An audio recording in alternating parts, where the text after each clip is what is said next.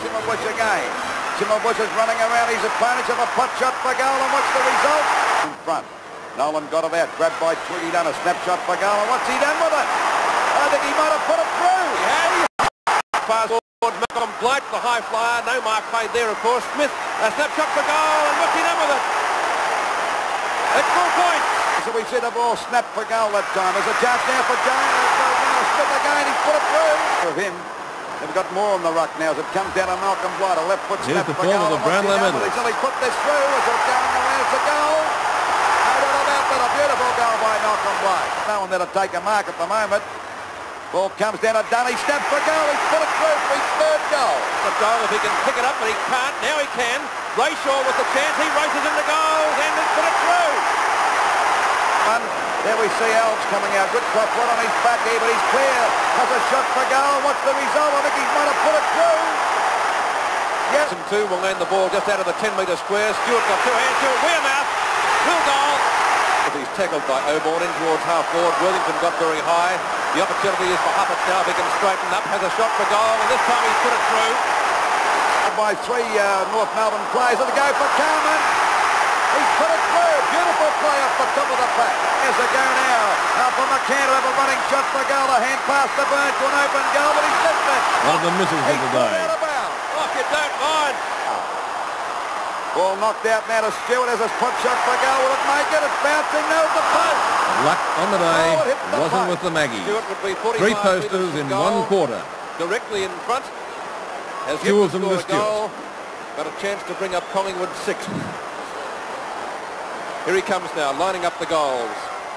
Stewart. It's pretty close. Watch the hit the post again. Play on's the call. Amazing. Wearmouth has a shot for goal and has missed. Hit the post. Again, that's their third one for the quarter. Another hand pass. This time it's taken away by Morris. Morris now driving the Magpies deep into attack. That's a pretty good kick too. It might even score. Over Phil Carman, Touched, I think. costing the Magpies a goal. The umpire awarding a free kick against Collingwood. It was a goal. The Blues said. I thought it was a goal too, but Going after it now is Stewart. He's clear. Looking for a lead. Trying to get it up there to Dunnett. Maybe Was if it a mark to the man in front or the man get it behind? What's the umpire going to do? He's playing the mark to Ben Diddy. well, man in front came over was Worthington. He copped the beauty. It'll be a free kick. It's against Huppert. So now Glendinning up in front of Moore and takes a very, very nice mark. A free kick, but not paid There by the heavy, pretty hefty bumps dished out on the day He too. can't pick it up. He's having a bit of trouble. Down he goes. Play between, oh, Blight and, uh, well, not say the Arnold Briedis, Andrew Ireland, Rod Oborne. Burns, they're all into. By golly, it's left and right. They're going to stop this. The play's still going on.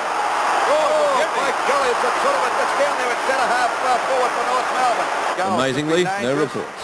Oh, gee, you have to give a free. Preston who brings the ball down. Picken. And it's on behind play. It's on. That uh, Picken and uh, Brightus are at it. It's not on his bung eyes side because he wouldn't see it.